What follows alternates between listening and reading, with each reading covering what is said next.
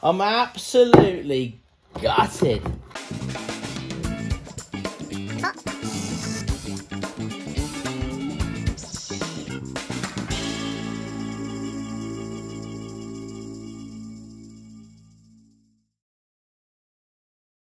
This video is sponsored by Surfshark VPN. Welcome back, folks. I thought that we would do this flower experiment again, but this time I'm going to dry the flowers. Now I picked these pink rhododendrons. I've got loads of these in the garden and they look beautiful. So I thought that we would try and dry these out. Now what I've got, because I've done a little bit of research this time, plus reading some of your lovely comments, I've got myself some of these. Yep, silica gel beads. Before any of this happened, I never even knew that silica gel beads even existed. But clearly, they do. Okay, are we ready for these? Let's hope these ones don't go mouldy, eh?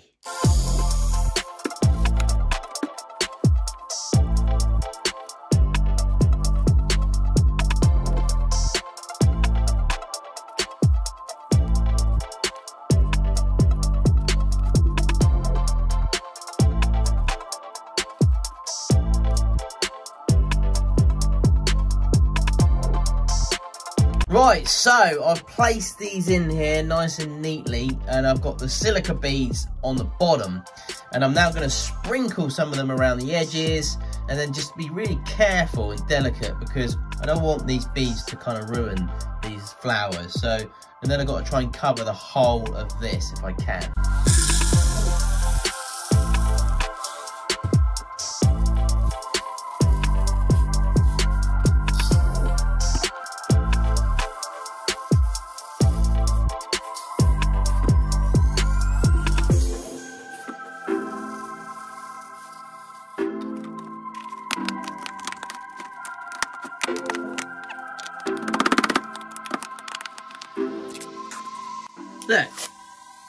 Does anyone else's tape do this? Every time. Look, what is that about? Okay, so there's our flowers sealed in a nice little tub. Um, and I've got to leave this now for about two weeks. Two weeks? So it's going to be a while for me, but not for you. Now I do have some leftover flowers. So while we wait for the silica beads to work, I'm going to try something else with these. Turns out that you can actually dip flowers in wax as well. Let's give that a bash.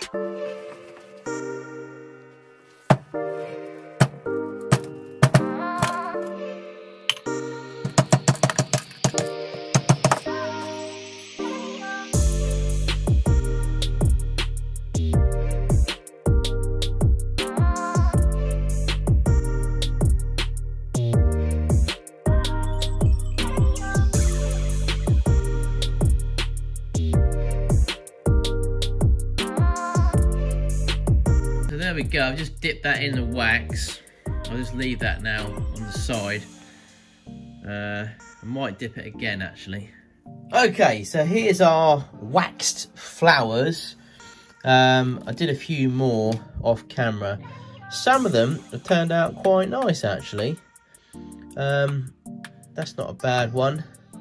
But like some of them, um, like this one here, he seems to be a little bit sort of crusty around the edges. It's not a great one, um, so that's why I grabbed a few more. This one's not so bad. Um, there's a few in here that we could probably use. This one's quite cool. Not really too fond of the leaves though that I did. They look kind of waxed. Right, let's see if these flowers dressed up in melted wax turned out the way we wanted them. Oh. um. Yeah, not kind of what I had in mind. Now, I have left these for a few days as opposed to the day after. probably nearly a week actually. Um, mm. The wax, um, yeah, it hasn't worked out. Well, that's not good. So what about these that we set in here? Just over a weekish, something like that. So let's see what we have. Hopefully a better result than what we found over there. Oh, I'm hoping that we'll have some good results in here. We've kept some nice, cool looking flowers. Oh dear, I've just broken that bit already. So I'm gonna have to be really, really careful with this. Okay, um,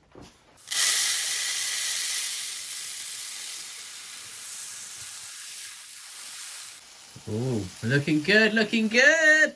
hey! Ooh, oh, they're definitely dry, but they look very delicate. Very, very, very delicate. Oh my. Oh wow. Look at that. That is dry as a bone and it's kept. Oh, and it's kept its colour and its features. It's curled up a little bit there. I don't know if we can bend that back or not, maybe. Um, but that looks pretty nice. That set in resin is going to look really cool. So let's just place those down. Oh, even the green. Look at that. That is, I mean, it's dry as a bone, but it just looks looks pretty much the same. Um, just got to be really careful getting these out. There's another one. Beautiful.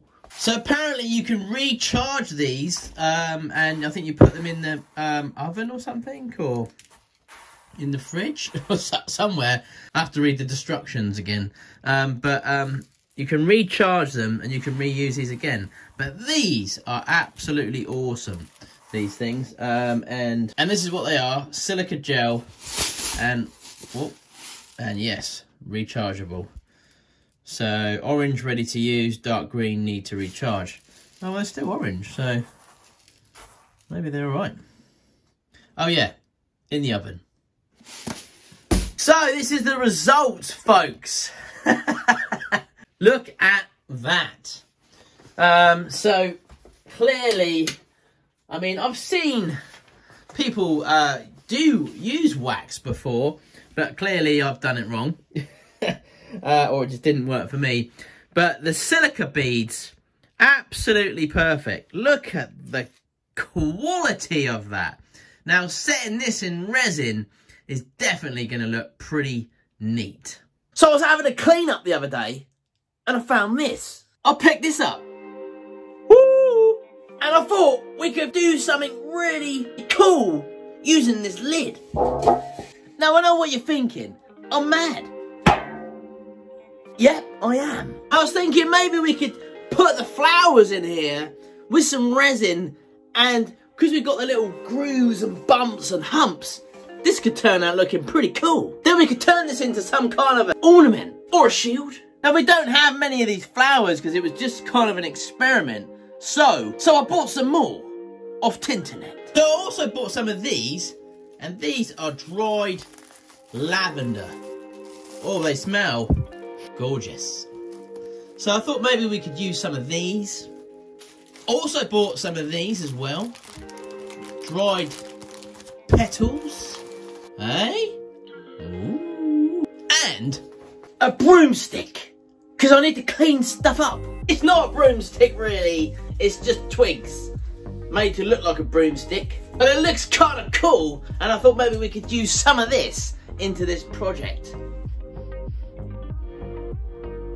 But you can use it as a broomstick if you want.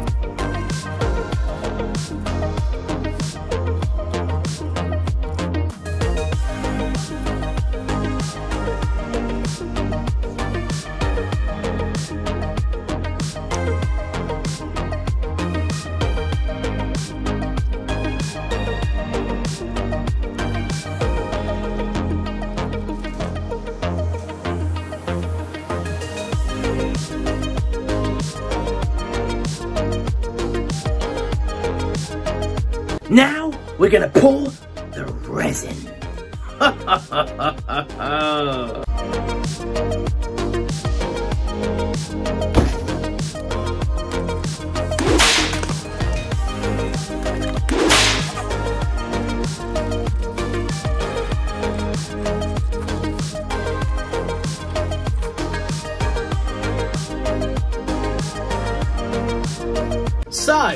here we go. So far, so good. Um, looks kind of cool, but I'm I'm kind of worried that it's not as colourful as I'd like it. Um, you know me. It looks it looks okay, but I'm thinking maybe a bit more colour in there would look quite cool. So I've got some old potpourri, and I was wondering maybe I scatter a few of the green and the blue, not blue, red in there, and just sort of like brighten up a bit.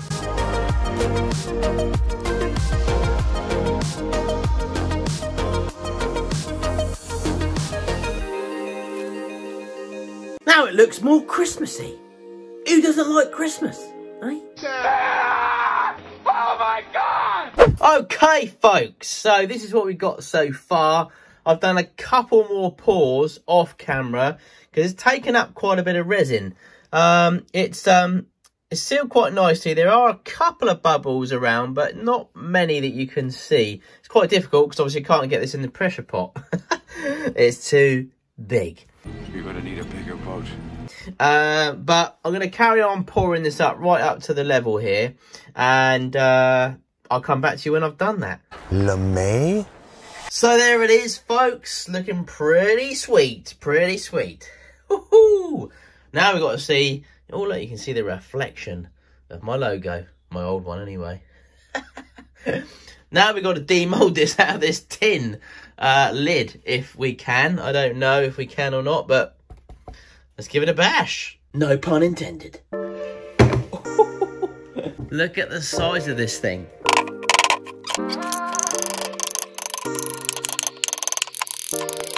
Two thousand years later. So not everything that happens happens with a happy ending.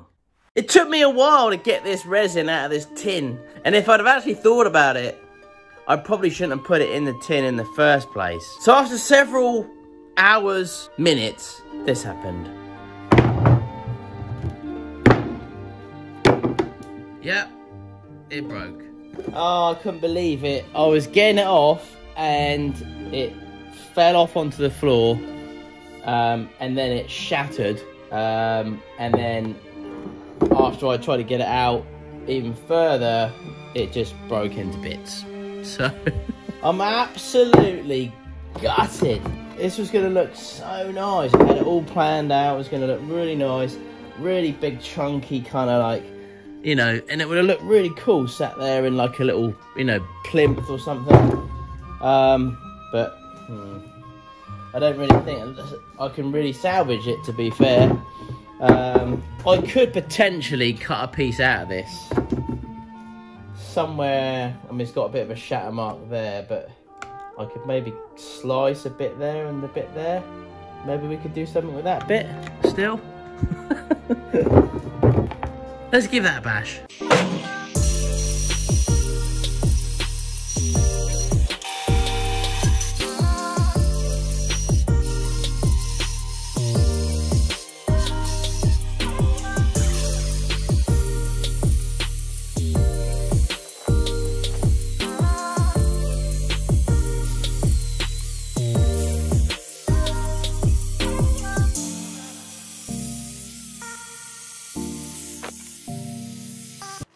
Can see, it's pretty dusty. Now, sanding is not my best bit. It takes ages, and you get covered in dust. Dust! We want this to come up like popping, really nice. And then ideally, if I can add in a light to this, that will make it even jubblier. Ho ho! Right, let's get cracking on some more sanding.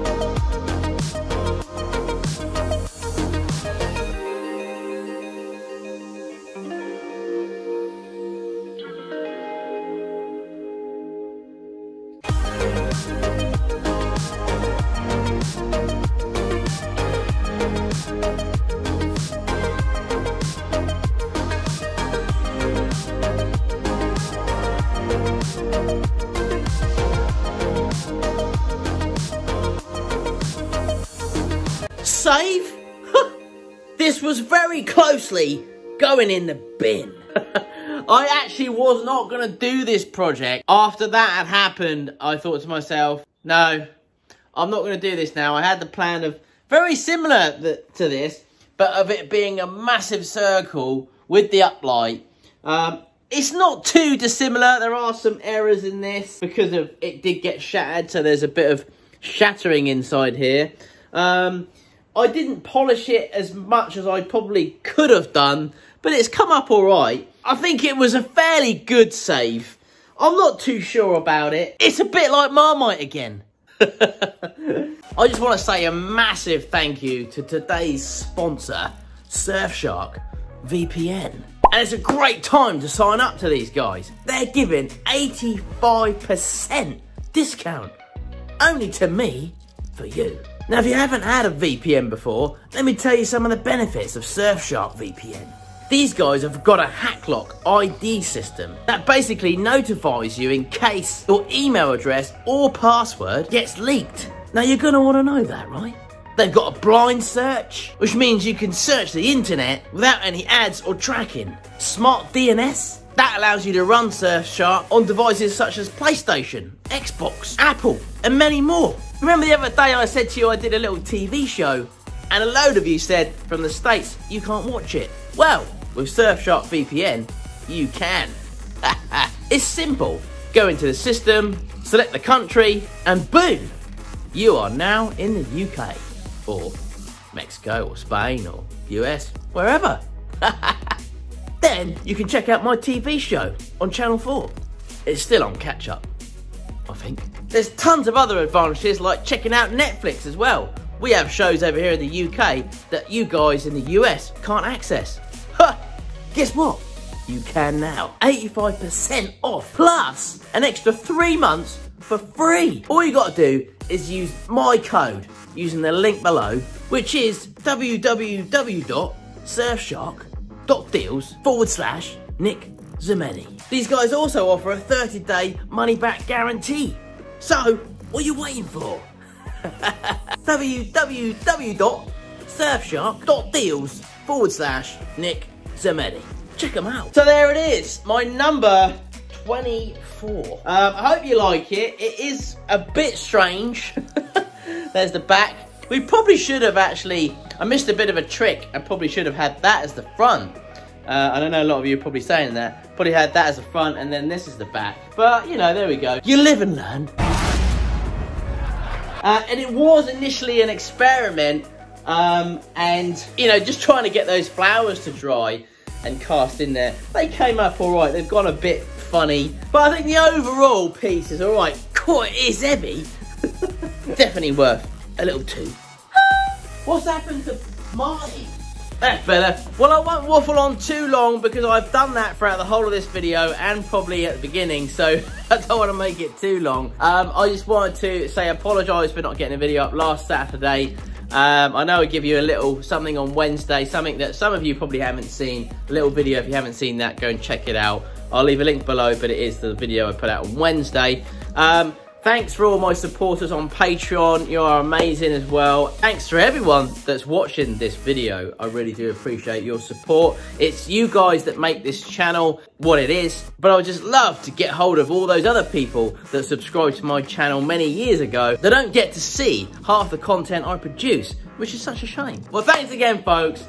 Take care. Please check out my sponsor. It's a pretty awesome discount. There's loads of other links down there for you as well where I get my music from, my resin. Oh, and you may as well just check me out on Instagram as well because I'm on there and Twitter and Facebook and TikTok. Yep, I'm on there as well. I'm wishing you a fantastic weekend. I hope to see you really soon with some cool, funky projects that I've got going on in the pipe. Take care.